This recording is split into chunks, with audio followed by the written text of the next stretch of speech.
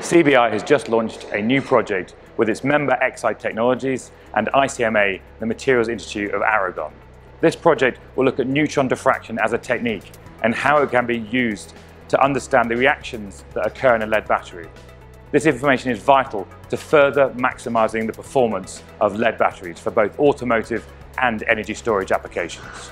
ESAE has identified the main market driver for R&D activities. Based on this, the primary objective for the Basic Research Department are to investigate and discover new materials and processes to allow life and cost improvement, while the specific performance uh, like uh, charge acceptance, power, safety, high temperature endurance should be adjusted first to regulatory uh, standard and also, and most important, to customer requirements. Exide and CBI are about to start a new project. Up to now, microstructure studies have been based on teardown analysis.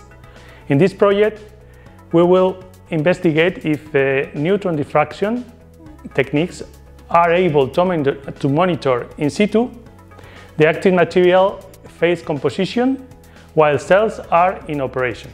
The main goal of the project with CBI and Exide is to analyze the different processes in the batteries by in operando neutron scattering experiments. To this end, we plan to place real operating cell in a neutron instrument and to collect diffraction pattern and neutron images from inside the cell with both spatial and time resolutions. In this way, we will, we will be able to monitor what is happening inside the battery in real operating conditions.